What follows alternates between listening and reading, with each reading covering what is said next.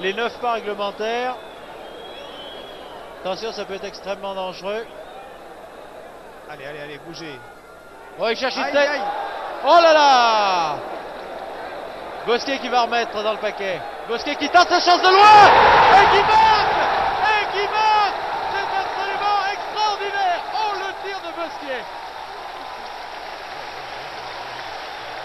26e minute dans cette deuxième mi-temps Absolument extraordinaire Bernard Bosquier qui reprend cette balle de 35 mètres et a adressé un tir absolument fulgurant. Regardez à nouveau le, le ralenti, regardez Bernard Bosquier qui va tirer, regardez la balle, la trajectoire de la balle, Mayer plonge bien, mais la balle lui passe exactement sous le cœur.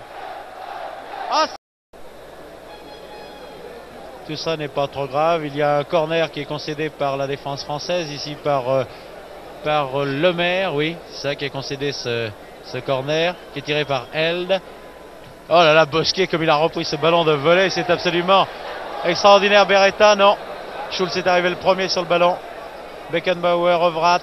Attention à Gert Müller Attention à Müller Oh là là Oh là là là là C'est Ovrat qui vient mettre ce but. Ça, euh, bien entendu.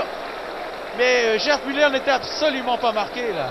Il était tout seul. Je il a pense poussé que- le ballon Ovrat. Et c'est l'égalisation. Mais enfin, sportivement, il faut savoir l'accepter. Un but partout. Nous sommes maintenant à 3 minutes de la fin. Euh, Joseph Mercier, je voudrais que vous nous parliez de ce but. Et que Ben, vous nous ce parliez but, je, maintenant. pense, je pense que ce but, il y a eu euh, la surprise là parce que vous avez remarqué, c'est peut-être